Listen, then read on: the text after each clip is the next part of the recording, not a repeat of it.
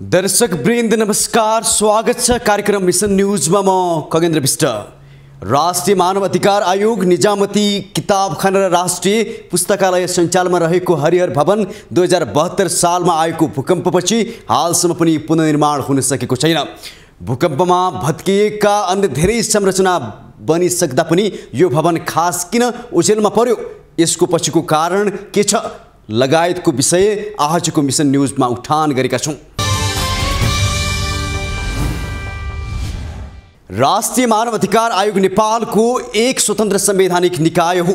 नेपालको अन्तरिम संविधान दुई हजार त्रिसठीले राष्ट्रिय मानव अधिकार आयोगलाई संवैधानिक अङ्गको रूपमा स्थापित गरेको छ। यसको आफ्नै क्षेत्राधिकार एवं कार्य विभाजन छ जसले नेपालको संवैधानिक र न्यायिक प्रणालीमा रहेर काम गर्छ। तर यही मानव अधिकार आयोगको भवन भूकम्प गएको आठ वर्ष बितिसक्दा पनि पुनर्निर्माण हुन सकेको छैन। यस विषयमा तयार पारेको यो रिपोर्ट हेर्नुहोस्।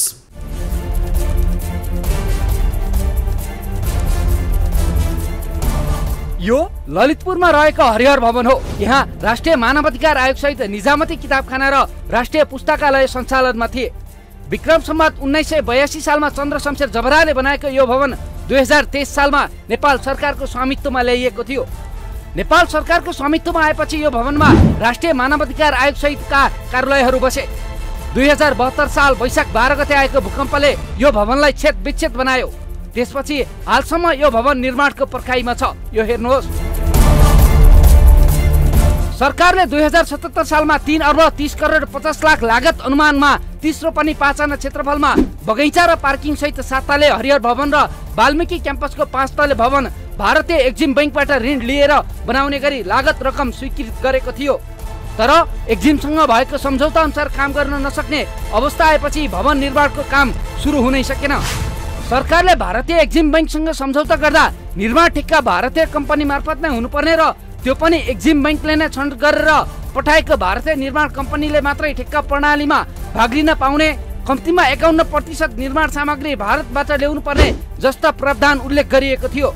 लगत अनुमान स्वीकृत लगतै राष्ट्रिय पुनर्निर्माण प्राधिकरण मार्फत टेन्डर खोलियो जसमा एक्जिम बैङ्कले पिक्यु गरेर पठाएको तीन भारतीय कम्पनीले मात्र भाग लिन पाए। यसरी भाग लिएका तीन भारतीय कम्पनीहरूले लागत अनुमान भन्दा बढी दर रेट राखेर ठेक्का हाले त्यसपछि ठेक्का स्वीकृत भयो। त्यसपछि दुई हजार सतहत्तर मङ्सिरमा पुनः टेन्डर गरियो यो पटक पनि टेन्डरमा लागत अनुमान भन्दा सात प्रतिशत बढी दर रेट राखेर दुई भारतीय ठेकेदार कम्पनीले ठेक्का प्रक्रियामा भाग लिए। उक्त ठेक्का पनि अस्वीकृत भयो। सरकारले भारतीय एक्जिम बैङ्कबाट ऋण लिएर बनाउने भनेको यो भवन पुनः निर्माणको प्रक्रिया अगाडि बढ्नै सकेन। सरकारले भारतीय एक्जिम बैङ्कबाटै ऋण लिएर बनाउने भवनमा एक्जिम बैङ्कसँग ऋण सम्झौता गर्दा भारतीय कम्पनी र त्यो पनि एक्जिमले नै पिक्यु गरेर पठाएको ठेकदारसँग मात्र सम्झौता गर्न मिल्ने प्रावधान राखियो जसले भवन निर्माणको ठेक्का प्रक्रियामा समस्या भयो। एक्जिम बैङ्कबाट स्वीकृत भारतीय कम्पनीले लागत अनुमान भन्दा धेरै दर रेट राखेर ठेक्का हाल्ने र भारतीय निर्माण कम्पनी बाहेक अन्यले बनाए एक्जिमले ऋण नदिने भएपछि हरिहर भवन कहिले बन्ने भन्नेमा अन्यल छायो। यसैबीच हरिहर भवन नेपाल सरकारले नै बनाउने भन्यो र चालु आर्थिक वर्षमा बाह्र करोड तिस लाख रुपियाँ विनियोजन गर्यो। सरकार आफैले हरिहर भवन बनाउँदा एक अर्ब भन्दा बढी लगानी लाग्ने अनुमान गरेको छ। रोचक त यहाँ छ कि सरकारले कुनै पनि आयोजना निर्माण गर्दा वा त्यसको ठेक्का प्रक्रियामा लैजाँदा बजेट सुनिश्चितताका लागि भन्दै एक चौथाइ बजेट हुनुपर्छ। तर सरकारले यस वर्ष छुट्याएको बजेटमा बजेटको सुनिश्चितता नभएपछि डिपिआर तयार गर्ने बाहेक अरू काम हुन सकेको छैन। यस विषयमा हामीले भवन विभाग अन्तर्गत रहेको विशेष भवन निर्माण आयोजनाका सूचना अधिकारी दीपक श्रेष्ठलाई टेलिफोन सम्पर्क गरेर किन भवन निर्माण हुन नसकेको भन्दै प्रश्न सोधेका छौँ। चार तले मात्रै बनाउने पहिला चाहिँ त्यो अलिकति ठुलो त्यो अगाडिपट्टि ग्राउन्ड छ त्यो समेतलाई कभर गर्ने भन्ने थियो।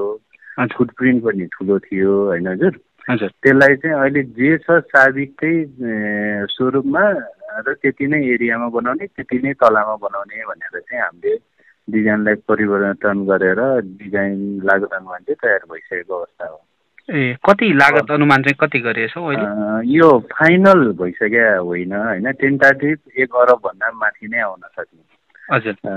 किन फाइनल हुन सकेन भन्दाखेरि चाहिँ हाम्रो अब यो हाम्रो कुनै पनि निर्माण गर्दाखेरि बजेटको सुनिश्चितता लिनुपर्छ। भोलि त्यो भवन बनाउनलाई चाहिँ नेपाल सरकारले बजेट चाहिँ विनियोजन हुन सक्छ गर्न सक्छ र त्यो आधारमा मात्रै हामीले चाहिँ त्यसको टेन्डर प्रक्रिया अगाडि बढाउन सक्छौँ। हजुर। अब अहिले चाहिँ नेपालको अर्थतन्त्रमै अलिकति क्राइसिस आएको अवस्थामा अहिले तत्काललाई चाहिँ अगाडि नबढाउँ। यसलाई बरु अर्को आबोमा बजेट सुनिश्चित गरेर मात्रै अगाडि बढाउँ भनिसकेपछि हामीले यो बजेट सुनिश्चित लिन सकेनौँ। तयारी अवस्थामा चाहिँ छौँ। अब यो अब सकिसकेपछि अर्को आबोमा यो आबोलाई बजेट विनियोजन हुन नसके पनि अन्य अर्को आगामी अब असी एकासीमा चाहिँ यो चाहिँ कार्यक्रममा चाहिँ बजेट विनियोजन गरेर बनाउने योजना चाहिँ छ।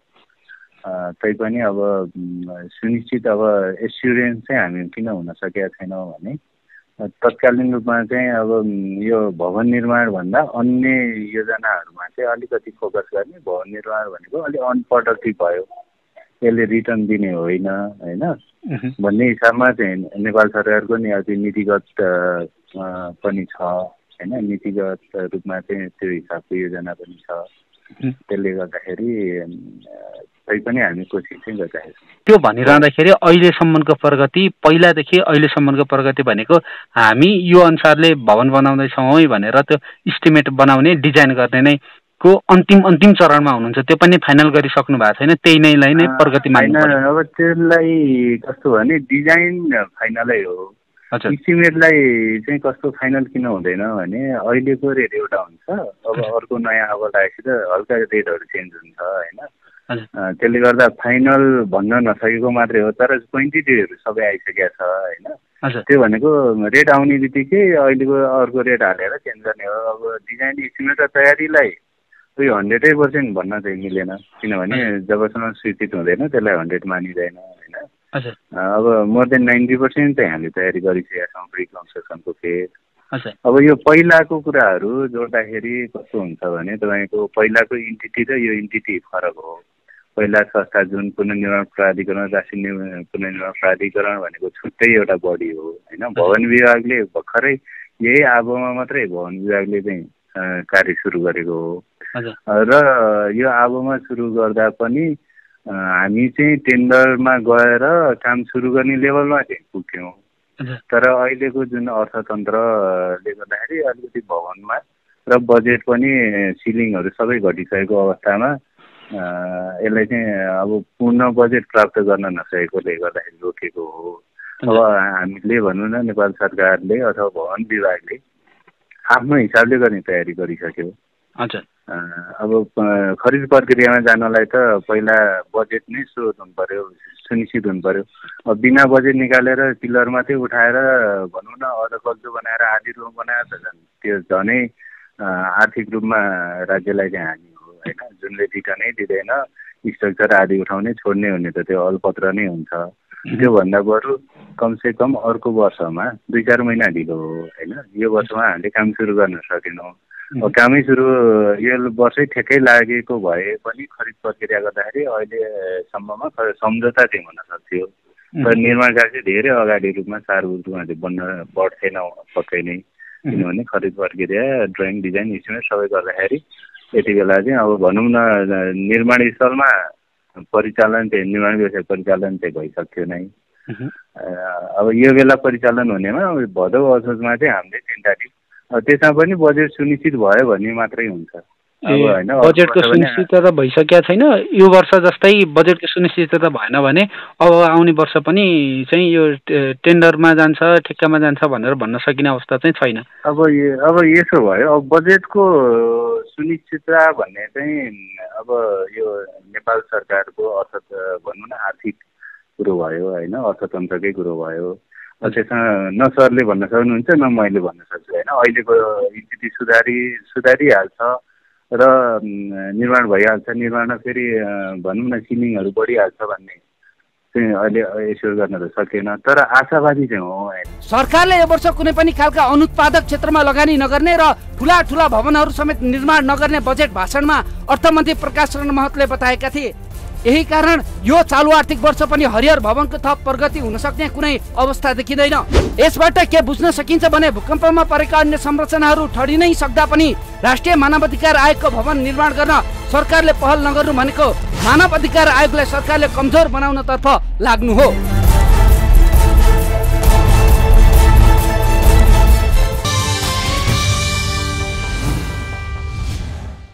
दर्शक वृन्द मानव अधिकार आयोग जस्तो संवेदनशील आयोग देशभर भाडामा बसिरहेको छ।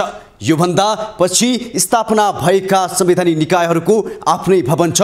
तर मानव अधिकार आयोग भने सरकारबाट च्यापिएको छ। यस विषयमा तयार पारिएको यो रिपोर्ट हेर्नुहोस्।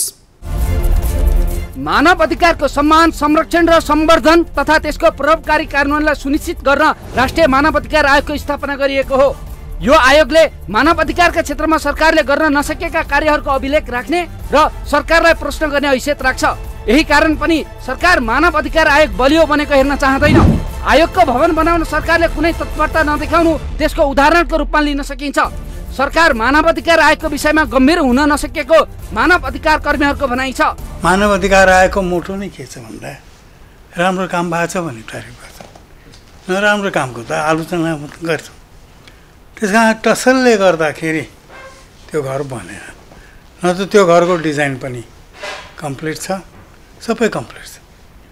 बनाउने मान्छे खोज्यो भने त पाइहाल्छ। सरकारले अब भनौँ न पैँचालो गएको यतिका वर्ष भयो। सरकारले त्यति वर्षसम्म त जगसग उठाइछ र त्यो भवन निर्माण नहुन्छ मानव अधिकार आयोगलाई बस्ने ठाउँ त चाहियो। बस्ने ठाउँ नै दिएन सरकारले। सरकारी भवनहरू खाली छन् तर सरकारले त्यसमा व्यवस्था गरेको हुनाले मानव अधिकार आयोगको भवन बन्न सकेन। आफ्नै भवन आफ्नै हल भए धेरै सजिलो हुन्छ। किन मानव अधिकार आयोगमा झन्डै दुई सयभन्दा बढी त कर्मचारी छ र मानव अधिकार आयोगले निजामती सेवाका कर्मचारी नलिएर आफ्नै क्याडर डेभलप गरेछ त्यो पनि सरकारलाई रिस उठेको एउटा कारण त्यो पनि छ। त्यसकारण मानव अधिकार आयोग जहिले पनि क्रिटिकल त हुन्छ नि। किन वाचडग भनेको छ नि? वाचडगको काम के गर्ने? टोक्ने होइन। भुक्नु त पऱ्यो भुक्नु चाहिँ भुक्छ। अन्तर्राष्ट्रिय मञ्चमा पनि भुक्छ। स्थानीय मञ्चमा पनि भुक्छ। र यसरी भुक्दा त मानव अधिकार आयोग सफल भएको छैन कति अवस्थामा।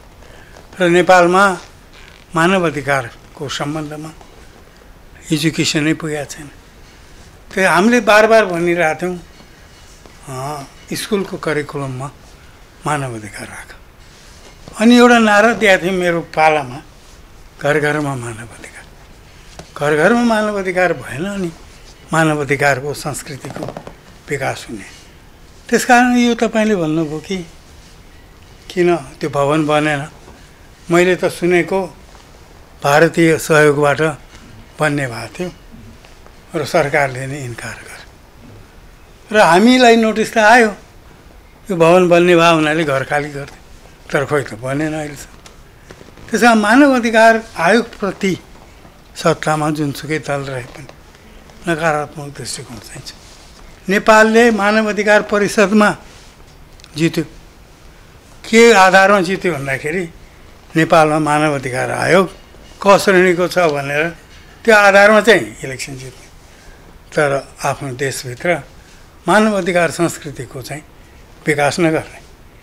र मानव अधिकार भनेको के त?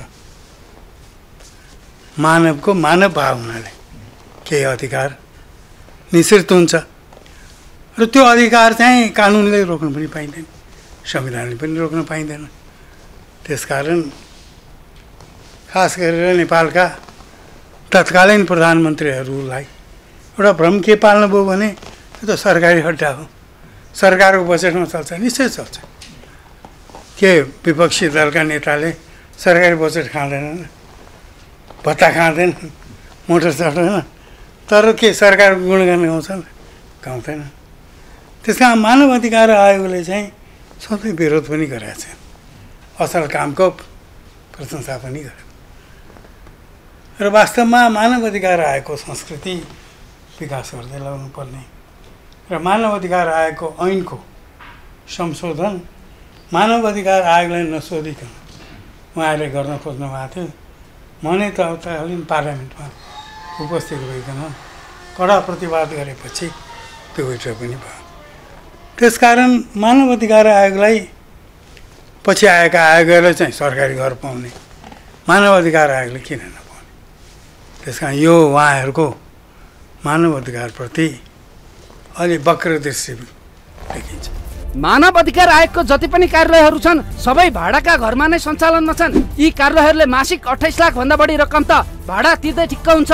यसरी हेर्दा वार्षिक साढे तिन करोड रुपियाँ त भाडा तिर्दै सकिन्छ। यसबाहेक कर्मचारी तलब प्रशासनिक लगायतका खर्च जोड्ने हो भने मानव अधिकार आयोगको बजेट ठिक्कै जसो हुन जान्छ। यसरी सरकारले मानव अधिकार आयोगलाई काम गर्ने वातावरण नै दिन नसकेको मानव अधिकार आयोगका सचिव मुरारी खरेल बताउनुहुन्छ। भाडा भाडा हामीले पन्ध्र सोह्र लाख चाहिँ प्रति महिना तिर्नु परेको अवस्था छ र यो वर्षको चाहिँ जुन हामीले भाडा तिर्छौँ त्यो भाडा चाहिँ यदि नेपाल सरकारले छिटो बनाइदिने हो भने नेपाल सरकारकै चाहिँ बजेट चाहिँ चाहिँ सदुपयोग हुने हुन्छ। त्यस अर्थमा पनि यति ठुलो रकम चाहिँ हामीले भाडामा तिर्नु परेको छ। तर त्यही रकम चाहिँ यो निर्माणमा छुट्याइदियो भने केही वर्षभित्रमा त्यो कुराहरू हुन पनि सक्छ। यद्यपि त्यति भाडाले मात्रै पुग्दैन। र यो मात्रै होइन हरिहर भवनको मात्रै भवन होइन। अरू सम्पूर्ण संवैधानिक निकायहरू चाहिँ सरकारी भवनमा रहेको अवस्था छ। तर मानव अधिकार आयोगको यो केन्द्रीय कार्यालय लगायत हाम्रा प्रदेश कार्यालयहरू पनि भाडामा बस्नु परेको अवस्था छ। यो हिसाबले हेर्दाखेरि चाहिँ अरू संवैधानिक आयोगहरूलाई सजिलै जग्गा पनि प्राप्त हुने सरकारले भवन पनि निर्माण गरिदिने। तर मानव अधिकार आयोगलाई चाहिँ यो खालको व्यवहार गर्दा कतै मानव अधिकारप्रति सरकार संवेदनशील हुन नसकेको हो कि भन्ने चाहिँ आयोगलाई आशंका लागेको छ। प्रदेश कार्यालयहरूमा चाहिँ वार्षिक कति तिर्नुपर्छ अब मैले अहिले ठ्याक्कै त त्यस्तो थाहा छैन। अब त एक लाख डेढ लाख देखि दुई लाखसम्म चाहिँ हाम्रो प्रदेश कार्यालयले भाडा तिर्छन्। यस महिनामा। त्यसरी हेर्दाखेरि सातवटा प्रदेश कार्यालयको ल डेढ लाखकै चाहिँ हाम्रो हाराहारी हुने हो भने पनि साढे दस एघार बाह्र लाख चाहिँ हामीले मन्थली तिर्छौँ। त्यो हिसाबले गर्दाखेरि डेढ करोड दुई भन्दा बढी चाहिँ हामीले प्रदेश कार्यालयको भाडा तिर्नु परेको छ। यहाँ दुई करोडबाट साढे तिन करोड चार करोडको हाराहारीमा हाम्रो शाखा कार्यालय पनि तिनवटा छ। यसरी चाहिँ हामीले भाडा चाहिँ तिर्नु परेको अवस्था छ। अब तपाईँहरूलाई लाग्न सक्छ सरकारले चाहिँ आयोगलाई समग्रमा चाहिँ थुप्रै रकम दिएको छ भन्ने लाग्छ। तर यो भाडा तिर्ने तलब अरू चाहिँ प्रशासनिक खर्चमा नै हाम्रो थुप्रो खर्च हुने भावनाले अहिले पनि दुई करोड सवा दुई करोड भन्दा बढी हाम्रो कार्यक्रम खर्च छैन। हेर्दाखेरि पच्चिस छब्बिस करोड चाहिँ आयोगलाई विनियोजन दिएको जस्तो देखिन्छ। तर साँच्चीकै कार्यक्रम मानव अधिकारको संरक्षण सम्वर्धन गर्नको लागि हामीले गर्न सक्ने भनेको त्यो दुई करोड सवा दुई करोड मात्रै स्रोत छ। यो चाहिँ अति न्यून हो। किन भन्दा यत्रो यो फेरि एउटा कार्यालयको मात्रै होइन आयोगको सबै कार्यालयहरूको चाहिँ सम्पूर्ण खर्च। यस अर्थमा पनि हामीलाई गर्नुपर्ने जिम्मेवारी संविधानले त्यति ठुलो देखेको छ देखाएको छ। फेरि यो पहिले हामी सङ्घीय सरकारसँग मात्रै काम गर्थ्यौँ भने अब तिन तहको सरकार छ। त्यो तिन तहको सरकारलाई जिम्मेवार बनाउने एउटा पाटो निरन्तर मानव अधिकारको अवस्थाको अनुगमन गर्नुपर्ने अर्को पाटो र आयोगमा प्राप्त भएका उजुरीहरूको अनुसन्धान गरेर टुङ्गोमा पुर्याउनु पर्ने अर्को र मानव अधिकारको चाहिँ संस्कृति विकासको लागि अलिकति चाहिँ सम्वर्धनात्मक मानव अधिकार शिक्षा सम्बन्धी कार्यक्रमहरू गर्नुपर्ने अर्को पाटो यस अर्थमा हेर्दाखेरि पनि हामी चाहिँ स्रोत साधनबाट चाहिँ अति नै न्यून रूपमा काम गर्नु परेको अवस्था छ। र यो आयोग चाहिँ एउटा चाहिँ स्पेस चाहिँ भएको ठाउँमा रहनु पर्यो र हामीले काम गर्दा पनि काम गर्ने वातावरण हुनु पर्यो। अब यहाँहरूले पहिले पनि देख्नु भएको थियो अहिले यो हामी भाडाको यो सञ्चय कोषको भवनमा सरेपछि केही स्पेस हामीलाई छ तर त्योभन्दा अगाडि चाहिँ हामी टहरमा बस्दाखेरि कस्तो अवस्थामा कोभिडको समय छ एउटा अब डिस्टेन्स मेन्टेन गरेर काम गर्नुपर्ने छ तर एउटा सानो कोठामा चार पाँचजना कर्मचारी बसेर हामीले काम गऱ्यौँ। त्यस्तो च्यालेन्जको अवस्था थियो। भनेपछि यो फेरि एकदमै भरिपूर्ण भएपछि स्पेस भएपछि यो सम्पूर्ण भइहाल्छ भन्ने पनि होइन। तर के भन्दा कम्ती पनि काम गर्ने वातावरण मानव अधिकार आयोगको परिसरमा पसेपछि तपाईँको एउटा पीडित पनि सुरक्षित छु भन्ने महसुस गर्यो अब यो त कस्तो देखियो भन्दा परिसर पनि छैन बैङ्कमा गएको हो कि कता बसेको हो जस्तो फिल भएको छ। हिजोको दिनमा हरिहर भवनको मूल गेटबाट छिर्दाखेरि पीडितहरूलाई के फिल हुन्थ्यो भन्दा म अब आयोगको परिसरभित्र छिरेँ। म चाहिँ एकदमै सुरक्षित छु। मेरो मानवाधिकार अवस्था चाहिँ अब संरक्षित हुन्छ भन्ने फिल हुन्थ्यो। भन्दा अहिले हामी बसेको अवस्थाले त्यो फिल दिलाउन हामीले सकेका छैनौँ। यद्यपि हामीले आफ्नो तर्फबाट प्रयास त गरिरहेका छौँ तर वातावरण मैले भन्न खोजेको वातावरणले पनि मान्छेलाई प्रभाव पार्छ। त्यो वातावरणको सुनिश्चितता गर्नु चाहिँ राज्यको सरकारको दायित्व हुन्छ भन्ने हामीले महसुस गरेका छौँ। यसै पनि जेनेभा स्थित मानव अधिकार संस्थाहरूको अन्तर्राष्ट्रिय सञ्जाल गानारीको स्तर निर्धारण सम्बन्धी उपसमितिले नेपालको आयोगलाई ख श्रेणीमा घटुवा गर्न सिफारिस गरेपछि आयोगको श्रेणी घटुवा हुने जोखिम बढेको छ। सन् दुई हजार तेइसको अक्टोबरमा संसारभरका आयोगको पुनरावलोकन गर्न बस्ने सञ्जालको बैठकले सिफारिस अनुमोदन गरेमा नेपालको आयोग ख श्रेणीमा झर्नेछ। यस्तो अवस्थामा सरकार मानवाधिकार आयोगप्रति उधार नदेखिनु भनेको कहाँसम्मको लापरवाही हो?